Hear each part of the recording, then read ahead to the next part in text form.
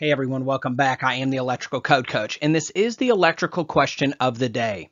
What color should you use to mark the high leg of a four wire, midpoint grounded, delta connected system? Now, this is one I've seen on every single electrical exam I've ever had, and it's very important to know, especially if you're industrial or commercial or troubleshooting. This is just a good one to know.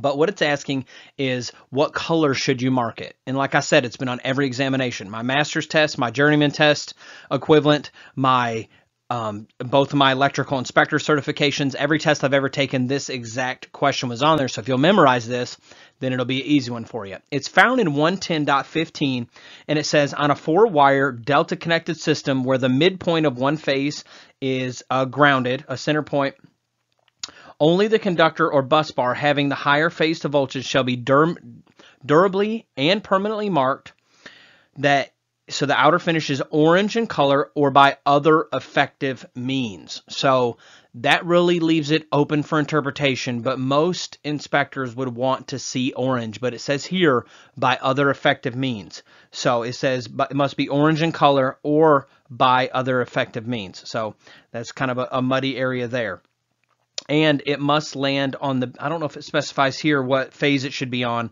but now it's on the B phase, which if I'm not mistaken, I think pre 1975 or in the 70s, it used to be on the C phase. And this is what we're talking about here. So what it states is, is that if you have that higher voltage, so if you have a center corner, or excuse me, a center or midpoint grounded delta system, which is going to make this phase right here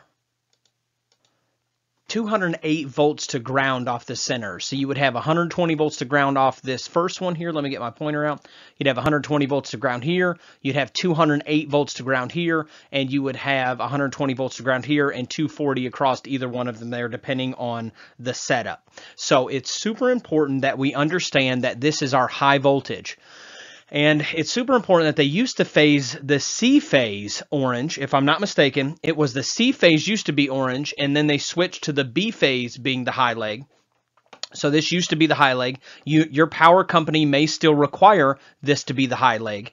But the biggest thing to watch out for is that every one of these B phase breakers are going to be 208 volts to ground. So you have to be very careful there. If you ever hooked up something 110, you're like, oh, I got a free breaker space right here.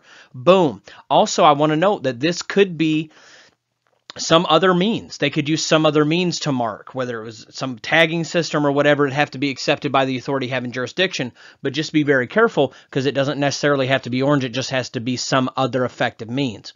One thing I want to note too, there's nothing in the codes that, that stops you from using orange somewhere else as well. So it's not just for the delta high leg. It also can be used for a phasing conductor and other things. So just be super careful with this orange conductor. Always know your voltages, know what's going on, know what system you're working on before you ever do. I am the electrical code coach. And if you want to learn more awesome things like this and just become a well-rounded electrician or be ready for your master's or journeyman exam, you can visit electricalexamcoach.com. Let's get to it.